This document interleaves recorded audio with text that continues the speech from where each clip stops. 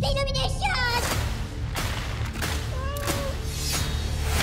¿Notaste las referencias a Terminator en el tráiler de la cuarta película de mi villano favorito? ¿O las referencias a varios países que la mayoría de la gente ni siquiera notó? Hemos recopilado 22 detalles e easter eggs increíbles y completamente nuevos en los trailers de mi villano favorito 4 que notamos al mirarlos nuevamente. Así que prepárate porque hay muchas cosas geniales. Poppy es uno de los nuevos personajes que conoceremos en mi villano favorito 4, aunque tiene una nariz muy similar a la de Gru y su familia, según nuestras investigaciones, Illumination afirma que ella es solo una vecina de Gru y una gran fanática del ex villano, es decir, ella es una aspirante a villana y protagonista en las próximas películas. Pero lo que notamos sobre el personaje es que es ailurofílica. Tranquilo, tranquilo, esto no es una enfermedad, sino el término usado para personas adictas a los gatos.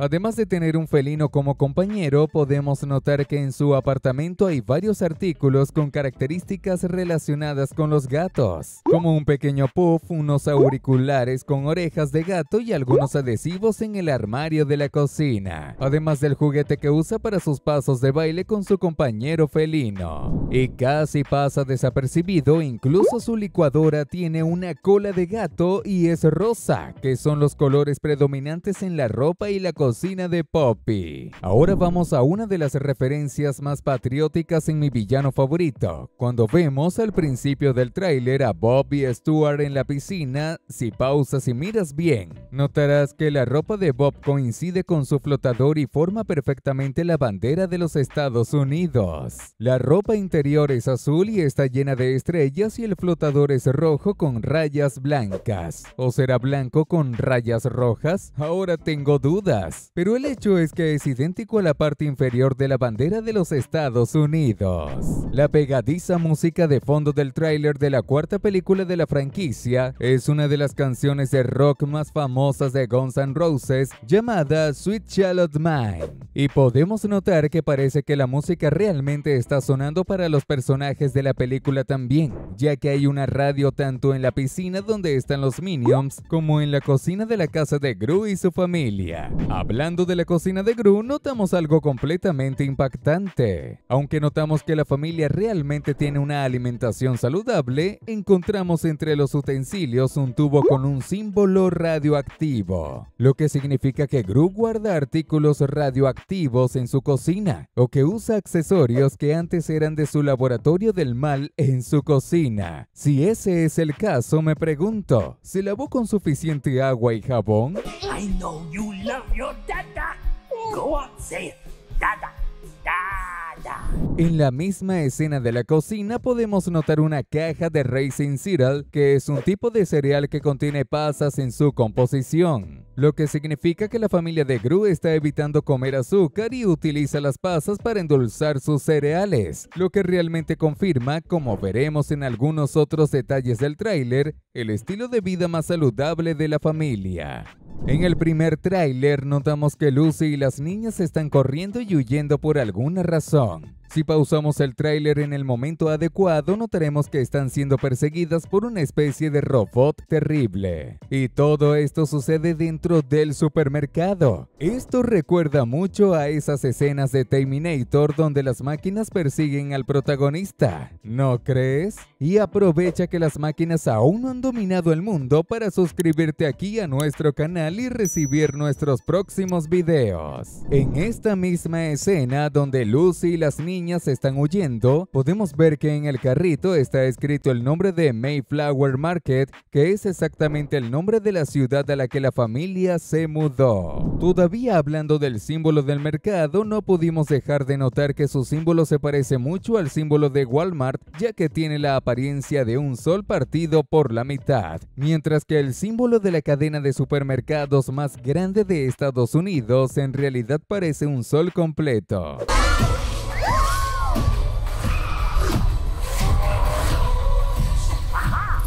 En el mismo avance centrado en Poppy vemos a uno de los minions, Bob, vestido como árbitro de tenis, lo que indica que realmente el nuevo estilo de vida de Gru y su familia es mucho más refinado, lo que combina perfectamente con la escena en la que Gru y Lucy están vestidos con ropa de tenis en la puerta de su nuevo apartamento. Otro pequeño detalle que confirma todo esto que acabamos de decir es la nueva ropa de Gru mucho más de alta clase. Por ejemplo, cuando está junto a Margot, vemos que lleva una camisa polo rosa. Y si pausas el video en el momento adecuado, notarás que la camisa es casi una imitación de una de las marcas de ropa más famosas del mundo del tenis, Lacoste, la marca que se representa por un cocodrilo. En vez de un cocodrilo podemos ver que hay otro reptil en su logotipo, una tortuga. Una buena estrategia de Illumination para no ser demandada.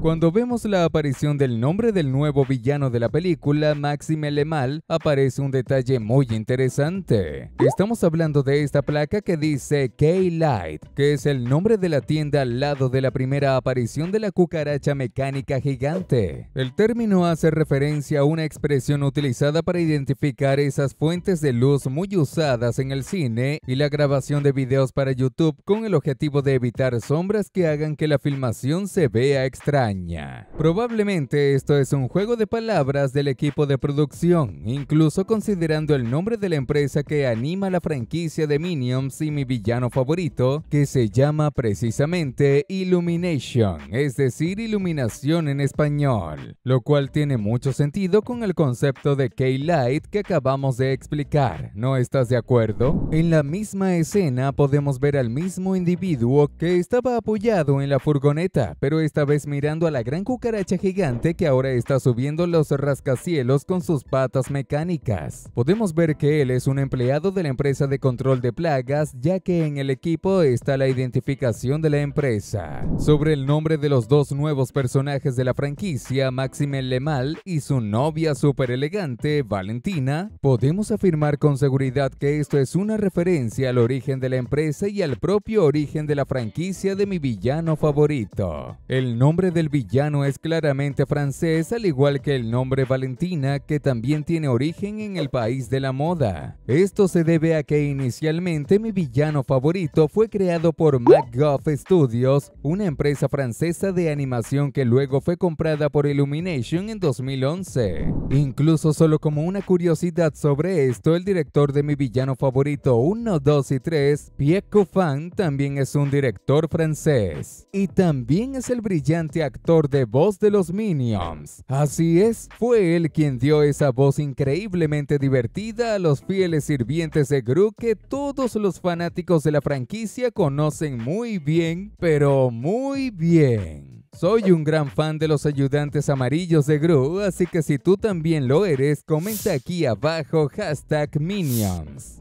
Hablando de moda, la conexión de los dos personajes con Francia es tan notable que podemos ver que ambos valoran mucho la elegancia en su vestimenta, ya que vemos a Maxime usando un abrigo verde muy elegante con detalles amarillos, mientras que Valentina usa un traje rosa en un tono muy fuerte y llamativo. Esto sin mencionar otros artículos como las gafas extremadamente grandes y los guantes blancos que ambos usan y una pajarita dorada también usada por Maxim, todo refiriéndose a artículos de moda. Además, la historia de Maxim y su rivalidad con Gru es algo que aún no ha sido completamente explicado, pero tenemos una teoría muy buena al respecto. Probablemente fueron compañeros en la época de la academia de supervillanos y de alguna manera Gru arruinó los planes y sueños de Maxim haciendo que fuera arrestado. Y hablando de la academia de supervillanos en el tráiler extendido que encontramos en internet, pero que aún no es conocido por la mayoría de los fanáticos, encontramos algunos detalles muy geniales. Por ejemplo, vemos que en la sala que Gru, Poppy y los Minions invaden,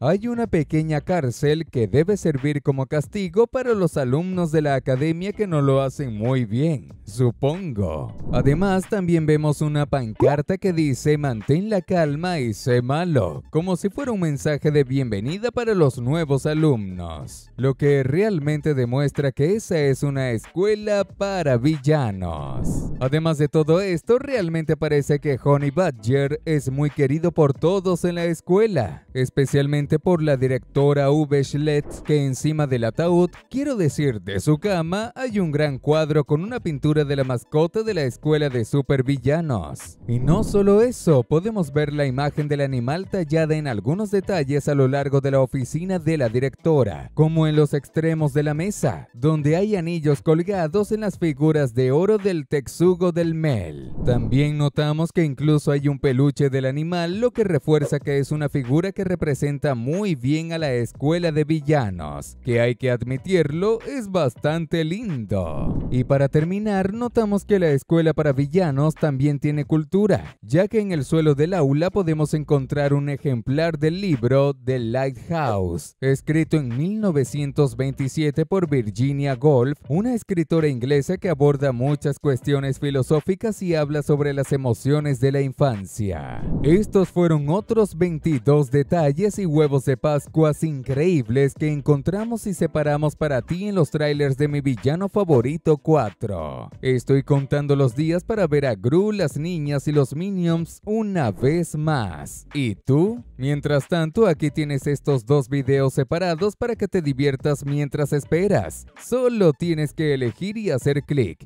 Gracias y que te diviertas.